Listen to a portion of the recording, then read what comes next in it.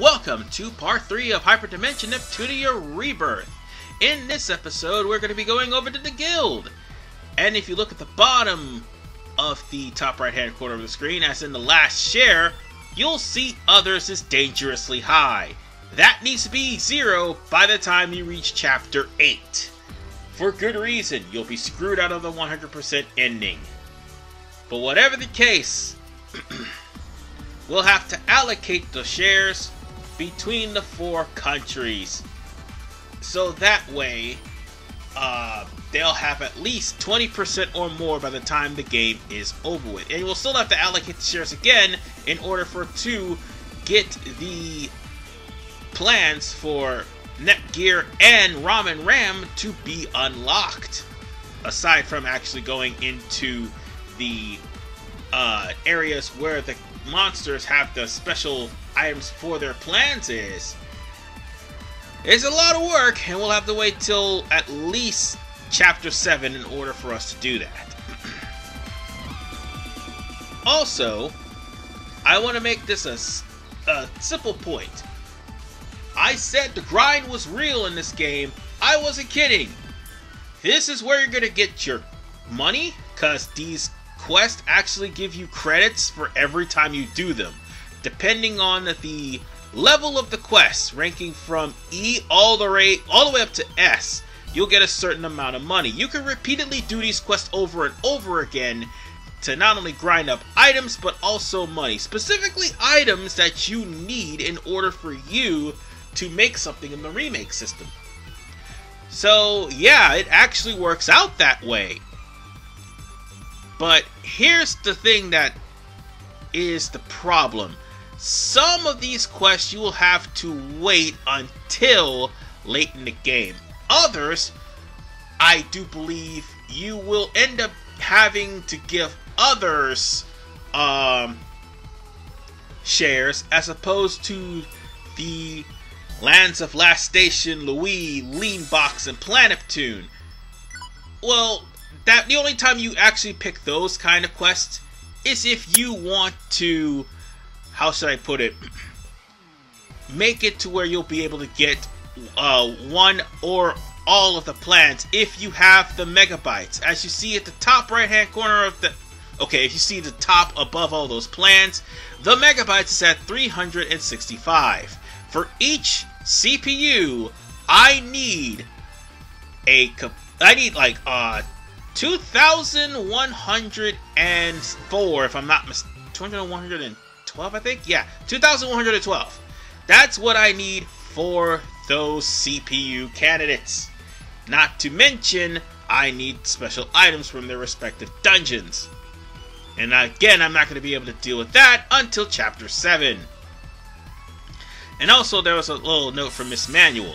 Now, in order to proceed with the game, there is a specific quest that is called Law of the Hero. We need to find that quest to proceed. But I'm not going to deal with that until chapter, I mean, part 4. Sorry, not chapter 4. What am I saying? I can't get out of chapter 4. I can't get to chapter 4 if I can't get out of chapter 1. Sorry, I said that wrong.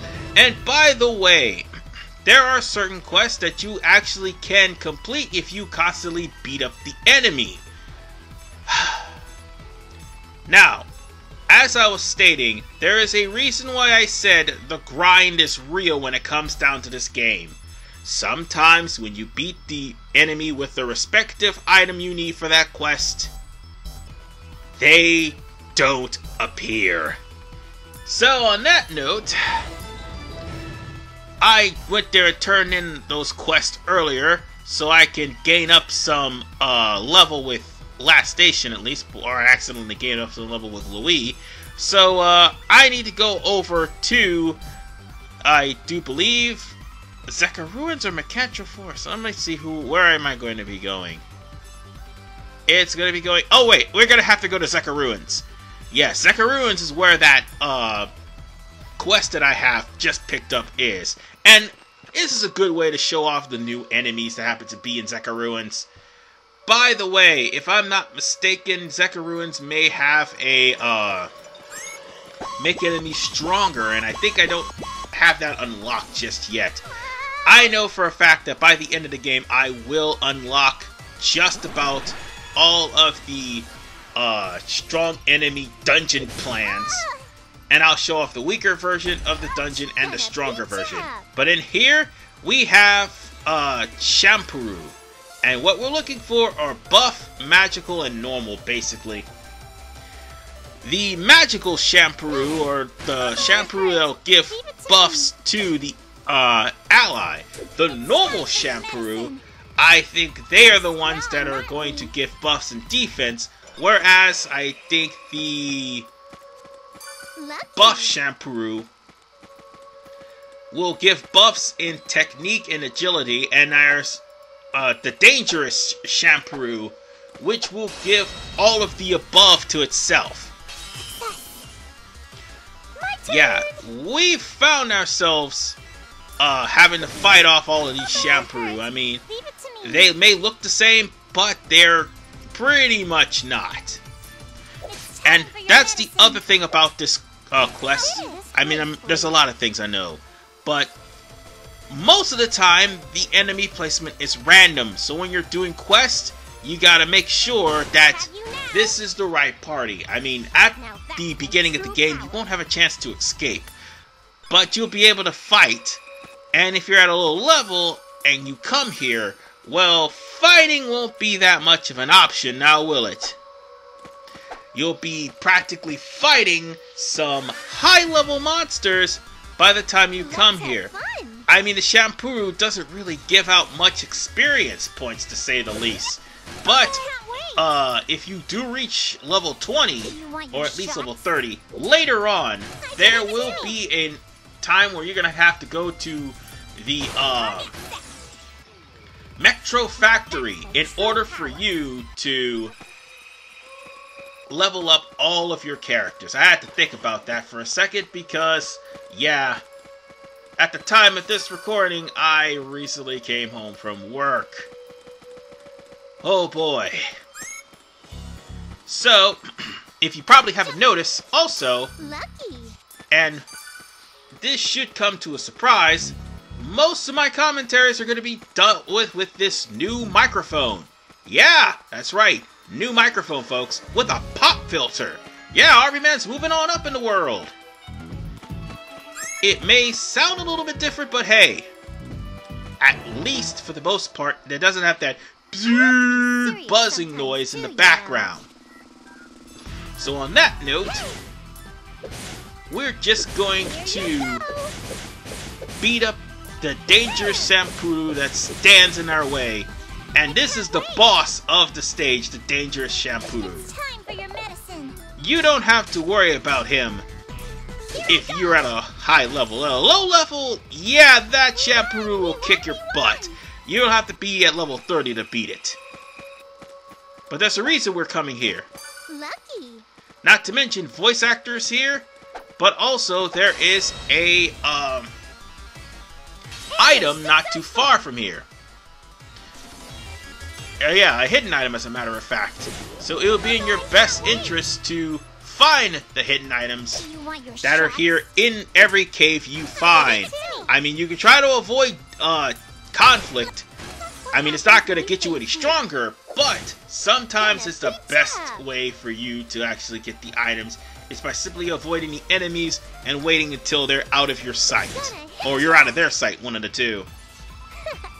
How was my power? So, with all these enemies we just killed, we are just going to go over and we're going to pick up this Whoa!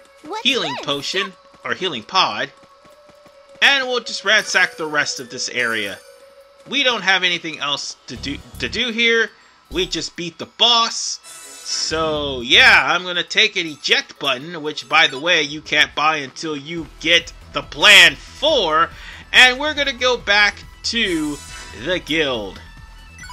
Well, eventually, we'll show off the shop now the shop. If you happen to have plans that have been completed, those weapons will show up here.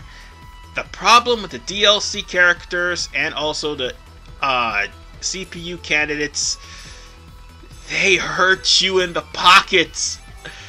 Oh, that. Oh, I'm just seeing that credit number.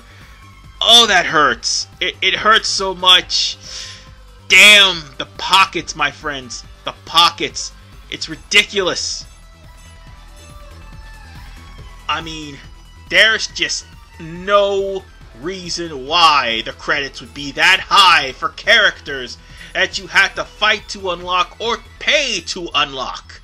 It's ridiculous.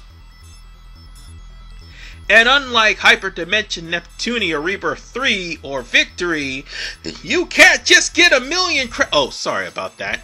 but as I was saying before I rudely belched, excuse me on that, you can't just get that free. And by the way, also, there are there are CPU parts that some uh, CPUs, like the CPU candidate Square, others they can't.